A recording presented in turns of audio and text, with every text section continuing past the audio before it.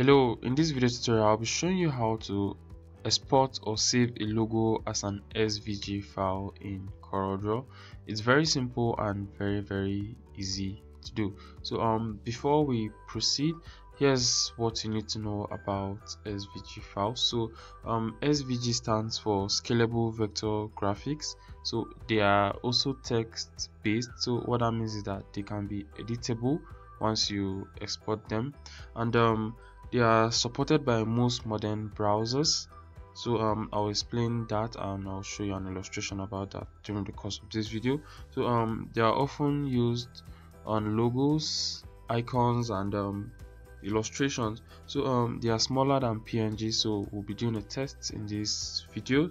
And um they don't lose quality when scaled to any length. So um once you scale them to any length or any size they still maintain um, their quality. So they're editable and easy to manipulate. That is why they are text based so um here's how to do it. Um, select this then you go to file then save as or you just control e if you like shortcut. So um SVG so you select your file type as SVG scalable vector graphics. Like I said that is what it means.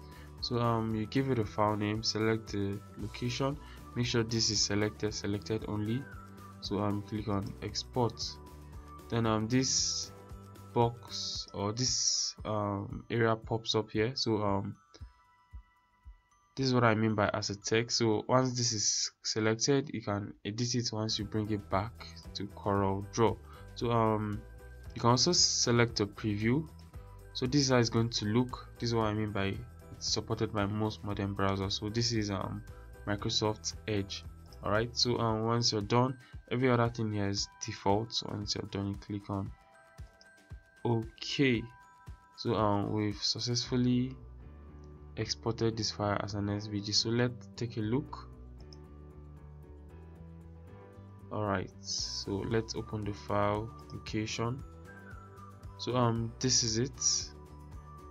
So the file size is 48 kb and if you notice the icon is the Microsoft Edge logo. That is why I said it's supported by most modern browsers.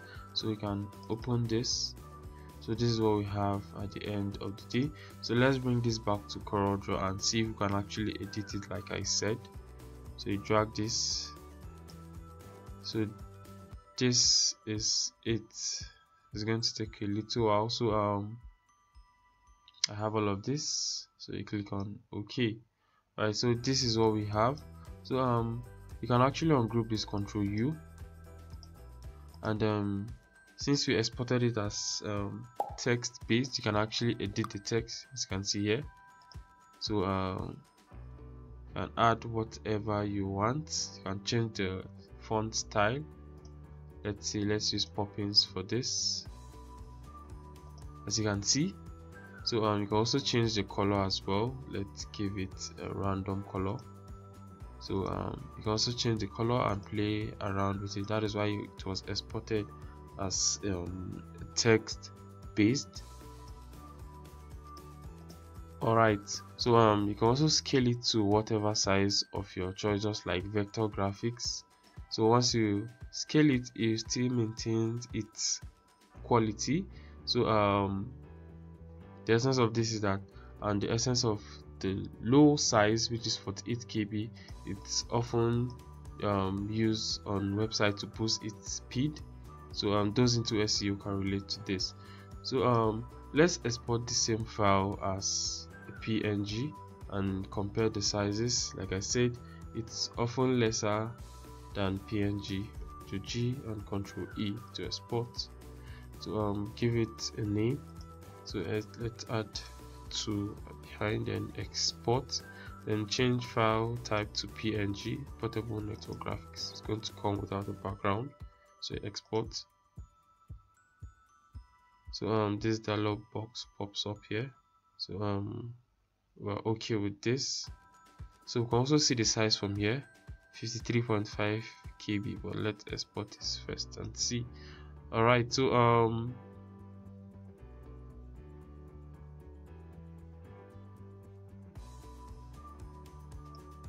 so um this is it the png file. So the size is 53.4 kb and my and the svg is 47.0 kb so like i said um svg are often lesser in size and can be scaled to whatever length and it's also editable but pngs are not editable once you import them in CorelDRAW.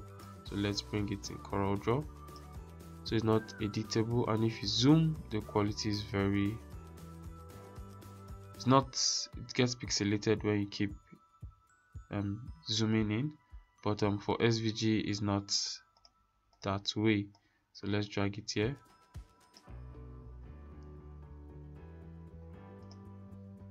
So they're not compared. So guys um that is it on this video on how to export or save a file as an svg in CorelDRAW it's very simple and very very easy to do alright guys um if you found this video helpful do all to hit on that subscribe button. Turn on the post notification bell to get notified whenever I upload new videos.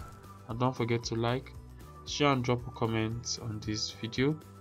And um, if you have someone who is interested in getting better or design with CorelDRAW do want to recommend my channel to the person. Thank you for watching and i will see you on the next video tutorial